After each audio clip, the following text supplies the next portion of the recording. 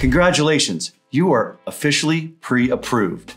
The next steps are we are going to be issuing a pre approval, not to you, but to your agent once you find a property that you want to write an offer for. Realize also, it's not just issuing the pre approval.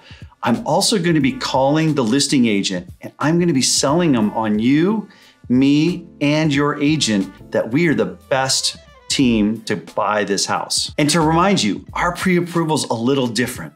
It's a multi page document that's going to differentiate you over other offers. Part of the pre approval letter is we let them know that we will give them your FICO scores.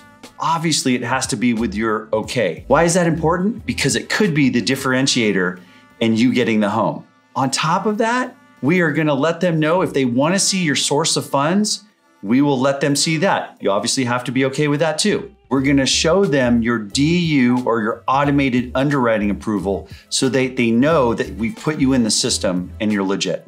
I jokingly call this a pre-approval on steroids, and that's why we have a process and system to help your offer get accepted over others. Congratulations on your pre-approval. I am so looking forward to helping you purchase your next home.